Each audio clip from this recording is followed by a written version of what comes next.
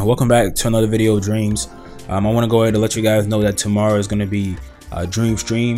Um, it's, it's going to be showcasing the beta and all that good stuff, as well as tomorrow there's going to be sign-ups for the beta. It's going to be a public sign-up, but it's going to be a closed beta. I want to go ahead and let people know because people are getting confused saying it's a public beta. It's actually a closed beta and a public sign-up. I think I got confused as well. I, I think I said in one of my videos actually.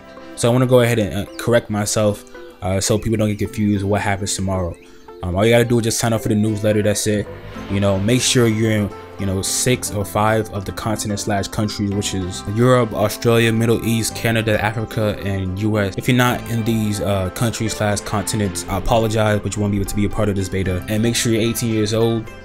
And to make things a lot easier, make sure your email that you use for your PlayStation is the same email that you use to sign up uh, for the newsletter. Because if it's not, it's going to be kind of complicated um, people were able to still get in, but it just took a lot a lot longer. So make sure it's the same email that you use for your PSN and the email that you use to sign up for the newsletter. But yeah, that's really it for the video. I don't need to drag it anymore. I want to go to let you guys know what's up so you don't miss out and how to get in and all that good stuff. I am really happy that you guys are going to see some of the creations that people have made already.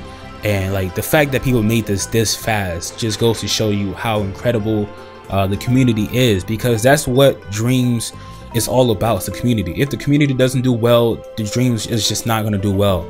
And I'm sure Media Molecule were really happy to see people making this stuff already. I mean, I was expecting them to make good stuff, but I didn't think it was gonna be this good already, bro. So this is really surprising. I just can't wait to see what happens uh, in the future for dreams. But if you guys enjoyed this video, I'd really appreciate if you drop a like, comment down below, letting me know your thoughts, and subscribe if you're new here because I'm always posting my dreams. And I'll catch you guys in the next one. Peace.